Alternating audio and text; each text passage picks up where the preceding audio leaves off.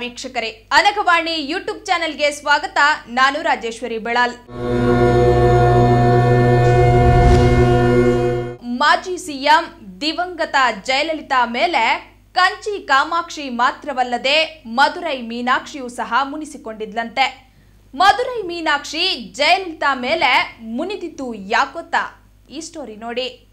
ಮಧುರೈ ತಮಿಳುನಾಡಿನ ಅತಿ ದೊಡ್ಡ ನಗರ.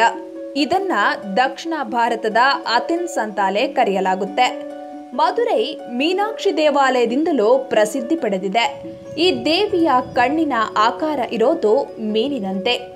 ನೀರಿನಲ್ಲಿ ಮೀನು ಹೇಗೆ ನಿದ್ದೆ ಮಾಡದೆ ಎಚ್ಚರಿಕೆಯಿಂದಿರುತ್ತೋ ಅದೇ ರೀತಿ ದೇವಿ ಮೀನಾಕ್ಷಿ ಕೂಡ ನಿದ್ರೆಗೆ ಜಾರದೆ ಸದಾ ಎಚ್ಚರದಿಂದಿದ್ದು ತನ್ನ ಭಕ್ತರನ್ನ ಕಾಯುತ್ತಿದ್ದಾಳೆ.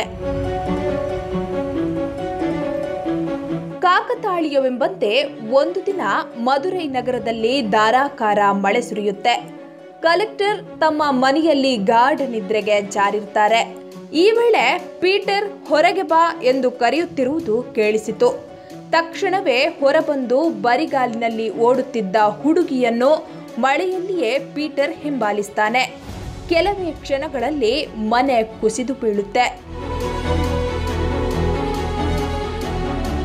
ದಿನಗಳ ನಂತರ ಪೀಟರ್ ತನ್ನನ್ನ ಬದುಕುಳಿಸಿದ ಮೀನಾಕ್ಷಿ ಅಮ್ಮನಿಗೆ ದೇವಸ್ಥಾನದಲ್ಲಿ ಇಲ್ಲದ ಯಾವುದಾದರೂ ಕಾಣಿಕೆ ನೀಡಬೇಕೆಂದು ಬಯಸ್ತಾನೆ. ಅರ್ಚಕರ ಬಳಿ ಚರ್ಚಿಸಿ ಒಂದು ಜೊತೆ ಬಂಗಾರದ ಪಾದುಕೆಗಳನ್ನ ದೇವರಿಗೆ ಅರ್ಪಿಸ್ತಾನೆ. ಹೀಗೆ ಪೀಟರ್ ಮಾಡಿಸಿಕೊಟ್ಟಂತಹ ಪಾದುಕೆಗಳು ನಾಲ್ಕು ನೂರ ಹನ್ನೆರಡು ಮಾಣಿಕ್ಯ ಕಲ್ಲುಗಳು ಮತ್ತು ಎಂಬತ್ತು ವಜ್ರಗಳನ್ನು ಹೊಂದಿದೆ. ಈಗಲೂ ಈ ಪಾದುಕೆಗಳನ್ನು ಪೀಟರ್ ಪಾದುಕಂ ಎಂದು ಕರೆಯಲಾಗುತ್ತೆ. ಅಷ್ಟೇ ಅಲ್ಲ, ಮಧುರೈ ಮೀನಾಕ್ಷಿ ಆಭರಣ ಪ್ರಿಯೆ. ಹೀಗಾಗಿಯೇ ಈಕೆಯ ಬಳಿ ಅಪಾರ ಬಂಗಾರದ ಆಭರಣವಿದೆ. ಭಕ್ತರು ಈಕೆಗೆ ಆಭರಣವನ್ನ ಹರಕೆಯ ರೂಪದಲ್ಲಿ ನೀಡುತ್ತಾರೆ. ತಮಿಳುನಾಡಿನ ಸಿಎಂ ಆಗಿದ್ದ ಜಯಲಲಿತಾ ಮೇಲೆ ಈಕೆ ಮುನಿಸಿಕೊಂಡಿದ್ಲಂತೆ. ಮಹಾರಾಣಿಯಂತೆ ಮೆರೆದ ಜಯಲಲಿತಾ ಅವರ ವೈಯಕ್ತಿಕ ಜೀವನ ಅಷ್ಟೊಂದು ಚೆನ್ನಾಗಿರಲಿಲ್ಲ. ಸಾವಿನ ಸಂದರ್ಭದಲ್ಲೂ ಜಯಲಲಿತಾ ಪಟ್ಟ ಯಾತನೆ ಅಷ್ಟಿಷ್ಟಲ್ಲ. ಅಷ್ಟಕ್ಕೂ ಜಯಲಲಿತಾ ಮಾಡಿದ ಎಡವಟ್ಟು ಏನಂದ್ರೆ, ಸಾವಿರದ ಒಂಬೈನೂರ ಎಂಬತ್ತ ಒಂದರಲ್ಲಿ ಮಧುರೈನಲ್ಲಿ ರಾಜಕೀಯ ಸಮ್ಮೇಳನ ನಡೆಯುತ್ತೆ. ಆಗ ಸಿಎಂ ಆಗಿದ್ದದ್ದು ಎಂಜಿಆರ್. ಈ ಸಮ್ಮೇಳನದಲ್ಲಿ ಜಯಲಲಿತಾ ನೃತ್ಯ ಪ್ರದರ್ಶನವಿರುತ್ತೆ. ಹೇಳಿ ಕೇಳಿ ಜಯಲಲಿತಾ ಸಿಎಂ ಎಂಜಿಆರ್ ಆಪ್ತ ಸಖಿಯಾಗಿರ್ತಾರೆ. ಜಯಲಲಿತಾ ಏನು ಕೇಳಿದ್ರು ಎಂಜಿಆರ್ ನೋ ಅಂದವರೇ ಅಲ್ಲ. ಜಯಲಲಿತಾ ನನಗೆ ಮಧುರೈ ಮೀನಾಕ್ಷಿ ಆಭರಣ ನೋಡ್ಬೇಕು ಅಂತಾರೆ. ಸಿಎಂ ಪ್ರಭಾವ ಬಳಸಿದ ಜಯಲಲಿತಾ ಮೀನಾಕ್ಷಿ ಅಮ್ಮನ ಆಭರಣವನ್ನ ನೋಡ್ತಾರಂತೆ. ಅಷ್ಟೇ ಅಲ್ಲ, ಅದನ್ನ ಮೈ ಮೇಲೆ ಇಟ್ಟು ನೋಡ್ತಾರೆ.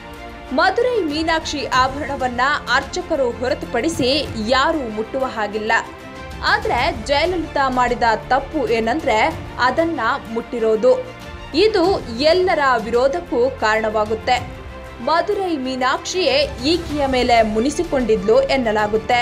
ಹೀಗಾಗಿಯೇ ಜಯಲಲಿತಾ ಜೀವನದಲ್ಲಿ ಅನೇಕ ಏಳು ಬೀಳುಗಳನ್ನ ಅನುಭವಿಸ್ತಾರೆ. ವೈಯಕ್ತಿಕ ನೋವು ಅನುಭವಿಸಿರೋದು ಮಾತ್ರವಲ್ಲದೆ ಈಕೆಗೆ ಮಾನಸಿಕ ನೆಮ್ಮದಿಯೂ ಇರಲಿಲ್ಲ. ಇಂದಿಗೂ ತಮಿಳುನಾಡಿನಲ್ಲಿ ಜಯಲಲಿತಾಗೆ ಮಧುರೈ ಮೀನಾಕ್ಷಿ ಶಾಪ ನೀಡಿದ್ಲು ಅಂತ ಜನ ಹೇಳ್ತಾರೆ. ಈ ವಿಡಿಯೋ ನಿಮಗೆ ಇಷ್ಟವಾದ್ರೆ ಲೈಕ್ ಮಾಡಿ, ನಮ್ಮ ಅನಗವಾಣಿಯನ್ನ ಸಬ್ಸ್ಕ್ರೈಬ್ ಮಾಡಿ, ಪಕ್ಕದಲ್ಲಿರುವ ಬೆಲ್ ಬಟನ್ ಒತ್ತಿ.